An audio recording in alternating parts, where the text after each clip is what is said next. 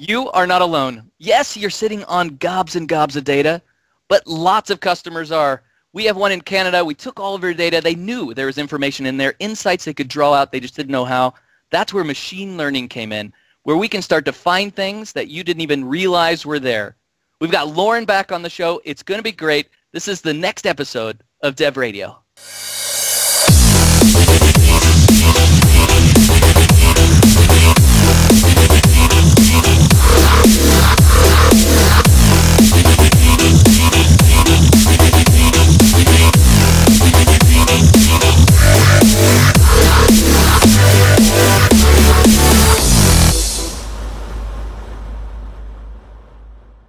Hi, and welcome to the next episode of Microsoft Dev Radio. I'm your host, Jerry Nixon, and I'm excited to talk to you today about some real life machine learning. And who else to talk to us about real life machine learning than the one and only Lauren Tran. Lauren Tran, welcome back to the show.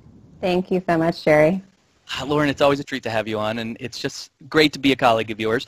Now, Lauren, and even better, you just came over towards my team. It was great. You I were did. over on the, yes. the startup team, and now Uh-huh. you're here. That's great. Yeah. Um, uh, Lauren, uh, it is possible, I suppose, that somebody hasn't watched a previous episode with you, and he- I think you should be the regular guest. uh, No doubt about it.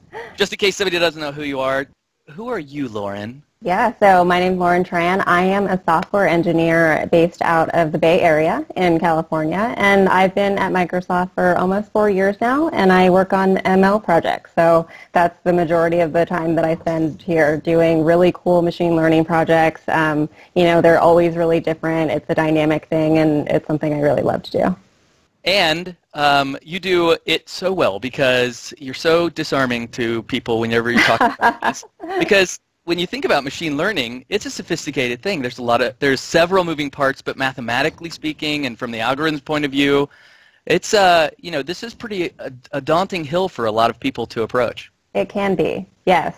So there is a lot of math behind the scenes, but Microsoft has done a really great job of putting together kind of a suite of services that allows it to be a little bit more approachable, um, from sort of all the way from the data scientist and the researcher to the developer to someone who's kind of just starting to dabble in that. Yeah. Yeah. And it's pretty great because I think a lot of people who are looking at machine learning because, you know, if you, I mean, now you're reading articles and the, the cover um, of the magazine says, you know, if your business isn't considering machine learning, then you're way behind Yep. the curve, right? Yep. This is the, this is the assumed normal. This isn't Mhm. some sort of weird science fiction project that you're going into. And, you know, a lot of people approach this, they're like, holy moly, I have to become a data scientist. And that's just not the truth, is it? It's not. It's not. You can accomplish a lot without actually having done, you know, graduate work research in this field. So um, there are places to go. There are resources, and and this is, you know, Microsoft's position in this field is about it's about democratizing AI and making it approachable for a lot of people. Yeah, yeah, just like we did for analysis services, just like we did for databases. It's Yep. great what we do. Absolutely. Now, um, we worked with a real uh, customer here, and that is Conexus Credit Union. And Clark, you are on the call as well. Thanks for coming on the show today. You're welcome. Yeah. All right, now uh, you're not in Seattle, are you? No, I'm not. All right, tell us tell us who you are and well where you are. Well, I'm a software developer, and I'm one of a team of five at Conexus Credit Union, so a pretty small little organization. Um, I physically, I'm the only one in my physical location. I'm in Prince Albert, Saskatchewan. So Okay. shout out to all those people.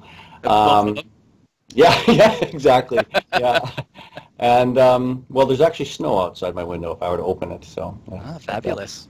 Yeah. Um, what else? Uh, I'm. Uh, I wrote a note down. I said I'm a curious misfit with a few technical skills. So that's how you can describe me. Wow, that is your elevator pitch for yourself, right? there. that's it. All right, you curious misfit, you. All right, so you are a software developer for Conexus, That's and as this project kind of spun up, and you, we recognize there's a certain amount of data that you want to have some sort of uh, problem solved, you were the one chosen for this project to work with us. That's right. it sounds way more dramatic than that, the way you say it. But yes. Ah, So- yes. Once you once you cured cancer, then what are you going to do the rest Yeah. of your life? That's exactly right. right. cool. Now I want to learn more about the project, but we also have Yvonne on the on the uh, show as well. Yvonne, thanks for joining us. You're coming all the way from the Microsoft universe. What town are you in? I'm based out of Vancouver, Canada. Okay. I'm program manager with our commercial software engineering team. So my job is really working with customers and partners to help them figure out how to use Azure and other emerging technologies we have to address their business needs. Terrific. All right, so talk to me just a little bit about this project with Conexus. Uh, so digital transformation has obviously been top of mind in the financial industry and we got involved uh, not just with Conexus but with the large credit union coalition in Canada mm-hmm. which included uh, 15 largest uh, credit unions here in Canada including obviously Conexus. Okay. So the credit unions approached us because they were interested in figuring out how to start generating and nurturing different uh, technology ideas across their organization to improve the lives of their customers. And they look to customer, uh, they look to Microsoft to support them in this initiative. So we okay. started off, yeah, we started off with the hackathon where uh, representatives from all the different credit unions came together, formed teams, and brainstormed uh, different solution ideas uh, with the objective of improving their members' financial well-being. And from all the ideas, uh, the idea that uh, Clark and his team worked on was chosen as the winner and that's when we brought in Lauren and her team to help uh, uh, help the credit unions um, actually building this out and turning it into reality. Okay, Clark, tell me what was the business problem you were solving? Okay, so um, uh, uh first of all, I should actually explain that uh, I'm not sure. Were you there, Yvonne? I don't remember you. I remember some of the. I remember. Um, some of the other people there, but we had a lot of broken ideas laying on the floor before we came to this idea. So we're sitting there on day two and no good ideas. The ideas just kept getting rejected. And we all were just saying, you know, isn't it terrible, you know, when a member is sitting there and they're in a, some kind of financial difficulty and, uh, and then something, something happens and we just, you know, come down hard on them, right? You know, they, they, they foreclose, we foreclose on them. And, it, and it's like, wouldn't it be something if we could actually figure out when that person is approaching that and try to actually help them before they reach that really terrible place. And so we named this, this idea Project We Care. And basically the idea was, can we use machine learning to look at transactions only? Because there's some serious privacy issues of throwing demographics and stuff into, into the mix. So sort of like, well, just using transactions, can we just actually find out if a person is headed towards a negative experience or not. And then the idea is then to go and find ways to actually help them before they hit that. So that's the, the name of the project, Project We Care. I can and see so, why you called it that. That's pretty yeah. great. So it was, we, all of us, none of us, I think uh, me and Desmond had read a bit about it. Uh, Jamie is very much a database wonk, so we are all in our happy place for data, but we'd never actually done it before. And Adam was a, uh, a marketing guy, definitely wanted to see something coming out, out of this. And so we put this together and we said, can we just drill transactions and find out if a person is actually, you know, going to a negative place in, in their relationship with the organization or not? All right, well, th- this is perfect. So this takes us right to the first question every machine learning project starts to ask. And Lauren, uh, how do you deal with it when um, or how do you make the decision and the determination whether or not you have enough data to really be able to use machine learning in the first place? Because I know a lot of times we'll, we'll talk to customers or businesses and they'll be like, we have a great idea, but we only have transactional data. Or sometimes they'll say, we have tons of data.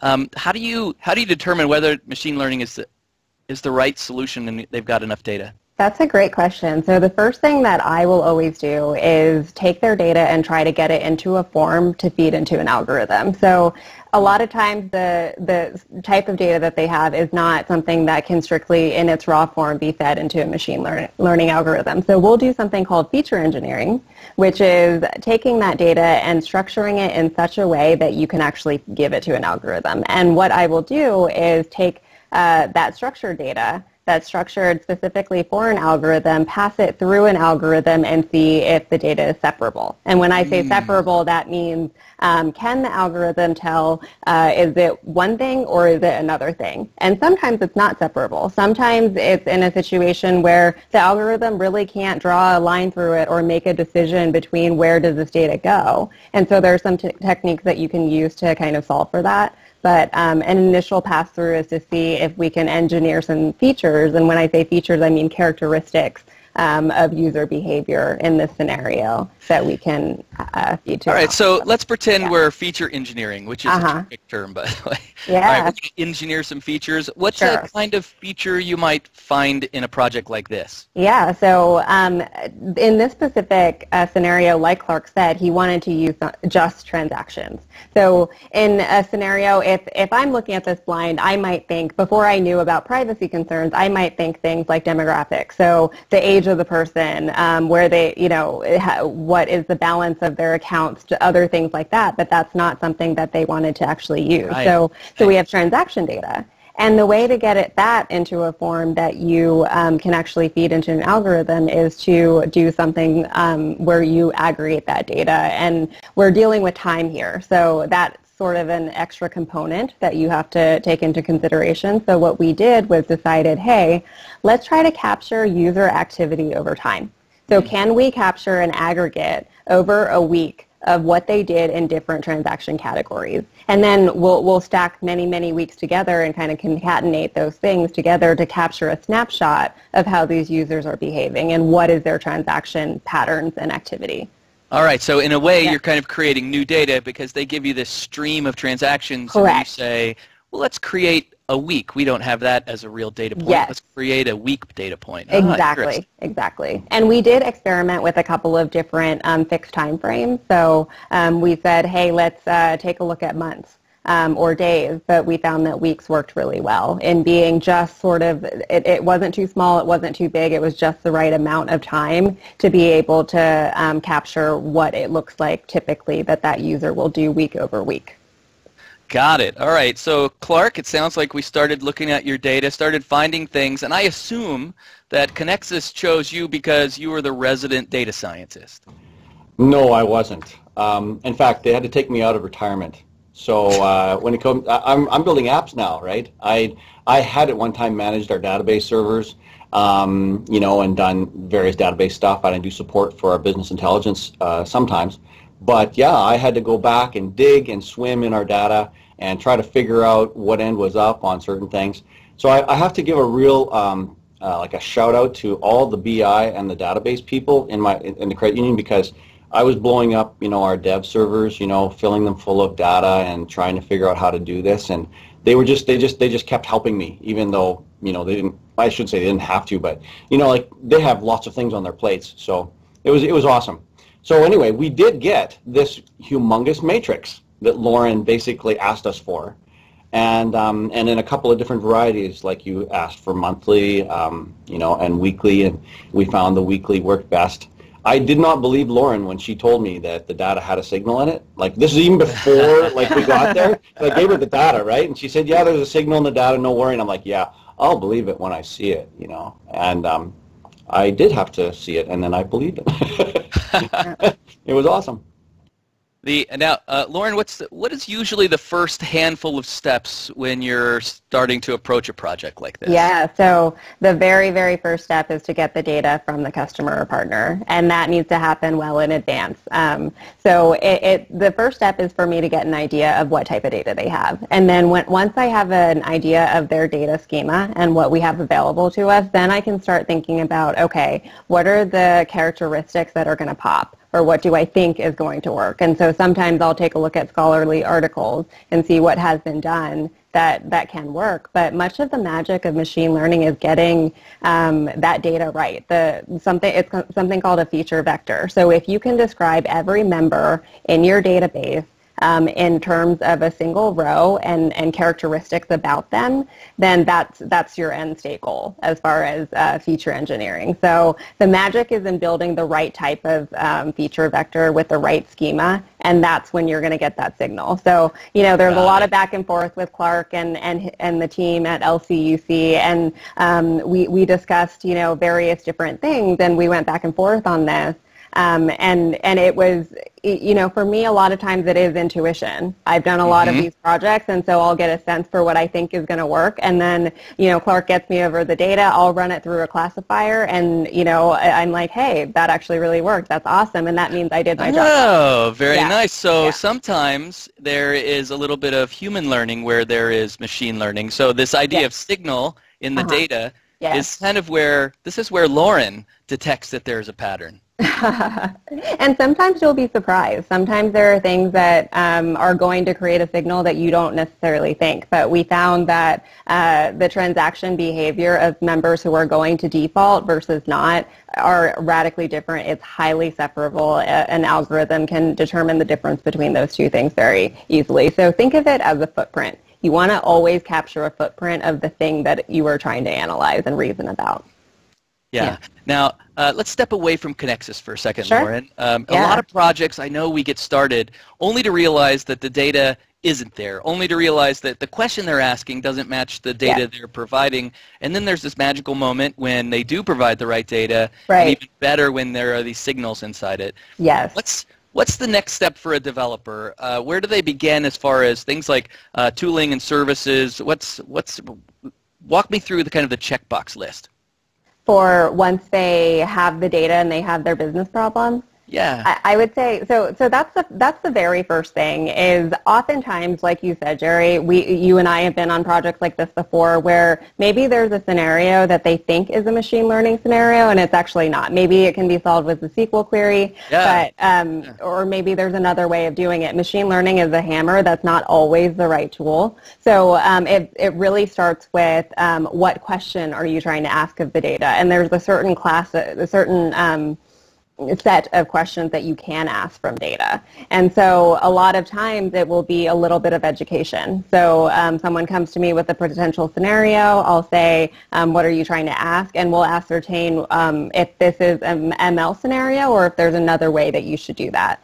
And Yeah. once you actually, you know, come up with your business use case that is a machine learning problem, I think that there are a lot of good ways to kind of get started. So one of the things I will do often is um, take something like Azure ML Studio, which is this really great graphical interface where you can kind of drag and drop different machine learning modules, and that's a really great tool for both education and for prototyping. So I can go in there and in 15 minutes I'll know if the data is separable. I, I'll know if we can build something or not.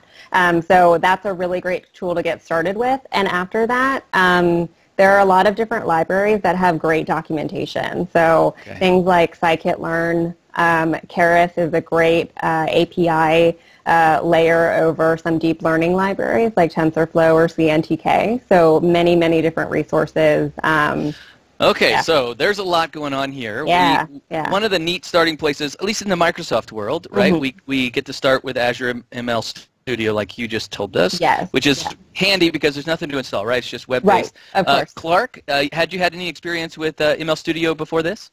No, they gave us the keys to it, and we ran out of time to actually go in there because I was doing all the data prep, and because I wanted to, but it turned out, like, we walked in, Lauren, I'm trying to remember now, Lauren, exactly how many minutes it was between when we walked in and you actually showed us the results. It, it was like, it was like super, super quick.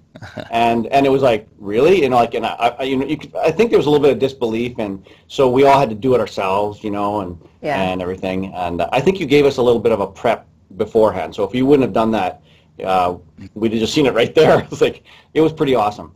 And then I guess there was icing on top of the icing for me in that. So we got the data, and um, we got our we got our results, and then uh, Lauren started showing us things. Well, okay, now if you want to take this farther, you want to pull this out, you can do stuff with Python, and she started showing us all these different things.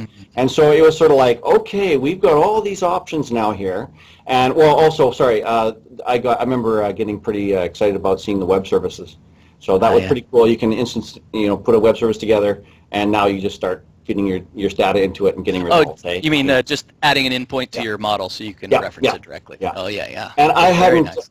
Yeah, I hadn't expected that. I was just like, oh, you can do that, right? And so it was like, oh, I got to go get Visual Studio out and got to start building something that'll consume that, right? You know, and, and um, it was pretty cool, a pretty cool moment. Yeah. Oh, it's a great moment when the feature you didn't expect is actually there versus when the feature you did expect is not there. So that's a that's a pleasant experience for sure. Um, I tell you what, this tooling is pretty fascinating. Lauren, could you just give us a quick overview of it? Yeah, sure. Absolutely. Happy to do that. So let me start sharing my screen now. All right, Lauren, I can see your screen. Awesome. So this is the Azure Machine Learning Studio, and this is the graphical interface that uh, Clark and I were talking about before, where you can actually drag and drop different machine learning modules, and it's a really great tool for education and, and some quick prototyping. So as you can see here, I've got a, a canvas here, and I've got an experiment on that, and this is my training experiment. Um, on the left-hand side, there are many different modules. So if I go into something like machine learning, then I'll see um, my under models, I'll see different types of models. So these are four different classes of algorithms. We happen to be handling a classification scenario where we were trying to classify whether members of the credit union were likely to default or not. So naturally, that's going to be a two-class um, classification algorithm. And Naturally, so, it is. Yeah. Of course. Now, yeah. this is interesting. Uh-huh. I'm looking at all of these two-class mm-hmm. algorithms, mm-hmm. and I yep. see um, that they um, they're all just built there. So this is where you're saying you don't have to be a mathematician to yes. take advantage of ML on, inside Studio. And yes. so let, us back up in Studio. And so sure. there's I see three things here. I see the this tree on the left that you're kind of walking mm-hmm. through all the things that you can add to the canvas. The yep. canvas is there in the middle, and then the details of whatever it is you have selected is in the properties dialog on the right. Yes, so, that's correct. Talk to me about what's in the middle. It looks a little bit like a Visio diagram Yep, I'm Uh-huh. going from top to bottom. Yeah. Yep. So you're going from top, top to bottom. So data comes in through the top and it continues down through where these arrows go and continues down out through the bottom. Got so so here we have um, the LCUC data that that they've provided to us that I can just um, add by uh, clicking new, going data set, and, and searching for a, a local file and bringing And that in. uh, all, all you're really looking for is just a simple CSV file, nothing Yes. special, Yep. no, no special format. Exactly. So a CSV file, and this is after we've done the feature engineering um, Yeah. on this data. And so um, I won't go Oh, into. now that's a really yeah. good point. Uh-huh. So it's not inside ML Studio that you're going to massage your data. Now I do see you have edit meta- metadata, so you may Uh-huh. do you know change a column. But as far as massaging your data and working up weeks and all that stuff, that all happened before, right? Yes, so that happens um, on Clark's side. So Clark handed Okay. me with uh, he had gone through and done SQL queries to export the data in in the in the form that we wanted. Got it. And so Um, the data yeah. set he gave you clearly has too many columns, and so you the second one in this workflow, you pare it down to only the columns you care about. certain columns yep and and we'll go through and and edit metadata. So here i'm changing um, uh, a specific column called the goal column that is labeled one or zero based on whether they've defaulted or not. Um, I want to tell Azure ML Studio that that is categorical. That's not a number. You should treat that as a category. It's it's binary zero or one. It's not something where you should uh, make a prediction that's like 0.5 because those numbers don't actually mean anything other than they're Got just a category. So you'll have Um, to do that from time to time for a lot of things. And Yes. I, I don't see it, but as far as editing metadata, you Mhm. could have um, injected another um, item. What do we call the things? What are those little boxes? They're not called little boxes, are These they? are modules. modules. Uh-huh. There's also a module where you could run your own R script or your own Sure. uh, Yep. Python, right? And, and Yep, do some extra manipulation if you needed to. Absolutely. So if I go um, to execute Python script, then if I click on that module, then I can add in my Python code in here into this little editor here. So this is, you know, by default it's in, importing pandas as, as PD, and that is a library that allows you to, to create something called data frames, which are matrices. Um, and, and much of what we do in machine learning is matrix uh, manipulation. So that's what that's for. Um, Okay. Yeah. Now, And uh, now, a lot of people might think, okay, if I introduce too much of this upfront kind of work in Python script, it's going to slow Uh-huh. down my model. Talk to me about how the model, how, how the model runs, and which part is actually running. Yeah, so um, when you actually run this, it will uh, queue up and it will just it, it will distribute this on, onto um, a, a, a node in Azure. So the compute will happen in Azure. That's obscured away from you. Um, the Python shouldn't slow down your your code any more than I I mean, unless you make it unnecessarily um, complex. But in in uh, in, in machine learning, a lot of times um, when you're working with Python, you want to strip things out. You, you want to use as few for loops as you can. And that's the point of being able to uh, take uh, variables and extract them as, as vectors or matrices and do matrix operations as opposed to um, iterative operations through for loops. So it really right. depends on how you write your code. Now, uh, Lauren, I uh-huh. see you normalize the data. Now it yep. looks like the data is going everywhere. Yep. So I've got a lot of stuff going on here. Um, I want you to kind of focus on on uh, this this just this critical path here. Um, okay. I've done some extra stuff over here, but the, the key pieces here are normalizing the data. So what you do, the reason to normalize data is because it, it, it allows um, the algorithm to converge faster most of the time. So when an algorithm is training and trying to map um, inputs x to some variable y, um, it does this thing called gradient descent. And gradient descent is essentially minimizing the error. Um, okay. nor- and normalizing your data is going to project uh, your, your data points um, into a different scale that will allow that process to, to, to go a little bit faster. Okay, um, got it. Yeah. Uh, a lot of people skip that step, so that's great yes, just to yes, improve yep. your. And you know, you don't have to do it, but it, it's it is a best best practice, and it will mm-hmm. often, uh, yeah, speed that computation up. So it, it changes it changes the the uh, the calculus and, and the math behind gradient descent a little bit. Um, and then we go into the process of, of splitting our data. So the reason to split the data is we need um, some portion of the data to train our model on and some portion to uh, test to see how well that model did. Um, and so typically I'll take something like 70% of the data and I can configure that here on the right hand side. Mm-hmm. Um, and then I can drag, so this is that 70% and I can drag that into um, this module called train module which I connect any of those um, modules I showed you earlier, those two class mod- modules sure. into, uh, train it, score it, and evaluate. Um, and so, so that's the workflow in Azure ML Studio, and um, this and this is something that is a really great tool for quick prototyping. I can get to my results very quickly if I um, click on um, evaluate then I should be able to see here. Um, the, the closer your uh, curve is, uh, the hugs the, the left vertical axis and goes across the right axis, the better. Um, a lot of times, I mean, this tells me this data is highly separable. Sometimes when mm-hmm. you get so close to the top and it's perfect, you, you that might cause a little bit of suspicion, like, sure. did I do something a little wrong? Um, in this case, and what a, what a yeah. great takeaway, Lauren, that you're not looking for perfect because if you actually get to perfect, you've probably done it wrong. It, there's there's a chance that you left something in there that is um, that that one to one maps to your the output label that you want. And so um, I, you know I, I, did this and I, I, was thinking to myself, okay, did I do something wrong? Went back um, and and in fact, this data is so clearly separable that it's actually not an error. So. This is it's, it's this is a dream project. It is. It is. This doesn't happen very often. So um, it, it's a dream project. Sorry? Yeah. It's a dream project. Yeah.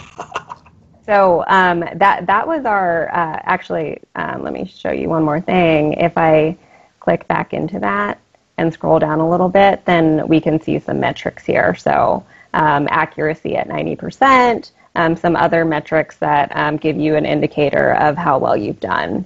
Um, but and obviously, yeah. here you have accuracy better than precision. That's what you ultimately want. You want it to be as well as accurate as possible. Yes, and, and precision uh, is something that you should look at, but uh, the, these are all, this all tells a story. So it's something to, to take a look at, understand what these things mean, and, and you know, for specific use cases, you, you have to understand what can my um, false positive and false negative rate be. Um, is, is it a scenario like you know the the the court of law scenario where it, you know innocent until proven guilty you better be sure that that person is guilty before you put them in jail right? And so what, what, out of curiosity yeah. lauren what um, what number in true positive would you want before you sent somebody to jail? So, so you want you want as few false positives as possible. So you want to make sure your false positive rate is extremely low and trade on and trade on false negatives. So um, adjusting the slider here. will do that. If I if I want um, no false positives, um, that that affects my accuracy a lot. A so lot. so you, you got to really kind of think about your business problem Sure. when when you're making that determination. But and maybe it's a- some It's a great expectation Yeah. too, because I mean, you want an accuracy that's well above, let's say, eighty percent, and and some manageable number below, yeah, hundred percent. right right Yeah. Yeah So uh, this is Azure Studio. uh, and it is a quick place to prototype, but it's Uh-huh. also where you would put a final model that you would execute in production. Sure. well. Yeah, absolutely. So um, we can go ahead. You you could set this up as a web service, um, and what that will do is give you a final endpoint. So um, I won't go through those steps right now, but Right. It uh, basically skips yeah. that part where you go and find a, a file instead Uh-huh. of passing a file to some REST endpoint. Right, exactly. So um, what you would do is it would expect uh, the, exactly. So if I go into my predictive experiment here, um, then uh, it will expect the web service input will expect the same data schema that I had before. So um, data comes in here, it goes through the same process, and then out comes the data. Yeah, the model So- looks quite a bit simpler in this part. Yes, so so they're collapsing things. They're they're changing things from. Um, it- it'll take that model and wrap it up as the, as a saved model here, um, LCUC default classification. So that's the studio in a nutshell. Um, we we also solved this using um, Azure uh, ML Workbench um, using Python. So so there are some uh, some things we did in here as well. If if we want to go through them. Brilliant. Now, Yeah. uh, this this seems pretty approachable. I don't Uh-huh. have to be a mathematician. Clark, you're not a mathematician. You're just a software developer, just like Yeah. me. Um, is it as easy as Lauren makes it sound? Yeah, it really is. It was. Uh, it was actually. I, I took a few runs at it in order to make sure that I actually wasn't being bamboozled, so to speak. You know, but no, it's it's it, it's the real thing. And then the icing on top of the icing was then she was able to get us uh, into the like if we if we want to operationalize something that's a little more difficult because we we're uh, multiple credit unions and we want to figure out how to add all the data together. And so there's there, well there's all these different options with Python and with Workbench. So. It's cool to me that this kind of tooling is available to make projects that otherwise would be unbelievably complex pretty simple to solve. Uh, Yvonne, uh, when you look at a project like this and you see it being delivered to a customer, uh, how satisfied are you? this this experience has been extremely satisfying. First, you know, we were working on an engagement, an initiative that really not just benefited one individual business, but across 15 different credit unions and all of their members, and the fact that we can use machine learning technologies to to solve a problem that wasn't solvable before. That was that was like Clark said, the icing on top of the icing. The icing on top of the icing. Clark, you've, that's a lot of icing. If uh, developers listening to this, um, what do you tell them? Oh gosh, um, uh, just jump in, I guess. Uh, like, I, I, you know, actually, I, I really appreciated having this hands-on. It was it was really good. Um, but you could have logged in. They gave us the keys to Azure before this thing, and uh, I was doing a lot of data prep. But I could have dug around, and I probably would have gotten even more out of it. You know, like you know, from that. But uh, but still, it's all there. You know, you drag and drop your files into this thing, and, you're sort of like, I- I'm supposed to write some code somewhere. Come on, you know. But yeah. It, it's funny because you can tell somebody to go bone up on machine learning, and it seems like that means to go get a PhD, but that's not what it means anymore. It really means uh, how can we use these toolings where all these, honestly, very smart people have prepared it and made it simple so that we could just be almost code figure it more than um, anything else. We're not uh, needing to code into it as well. Now, a couple of developers, Lauren, might be pretty inspired by this. They are, are looking for resources that you might point them to so Okay. that they can learn more and get started. Where do you send people usually? Yeah, so I'll send them one good, great landing place is microsoft.com slash AI, and that will have links to our AI suite. So there's things across the board that you can take a look at. Um, if you want to get deeper, I always recommend that um, there are some courses out there. So on Coursera.com, Andrew Ng's course is very, very good. He's got a traditional machine learning course and a deep learning course. Um, Fast AI is a really good uh, upskilling uh, tool as well, a website with lots of different um, courses on, on deep learning. So there, there's a spectrum of how deep you want to get in this. How deep you want to get. And it's what's great is in a handful of days, uh, Clark's become very productive, and it's gone from zero to hero pretty fast. Meanwhile, it's pretty handy having, you know, not all of us have a master's in machine learning, so it is sort of cool to have Lauren sitting around too. And uh, it's neat because most companies are sitting on a lot of data. Most companies have a lot of un- a lot of answerable questions if they know how to kind of pull it out of their data, kind of create those features, you know, as they go through it as well. If you're a software developer and you've been hearing about Microsoft machine learning, you've been hearing about just machine learning in general, and you're wondering how you can tap into it as well, the number of resources that are free, frankly, are astronomical. And if you don't go get an Azure subscription and try machine learning for free, you're crazy because it's crazy approachable. And thank you, Clark, for proving that that's true. You're welcome.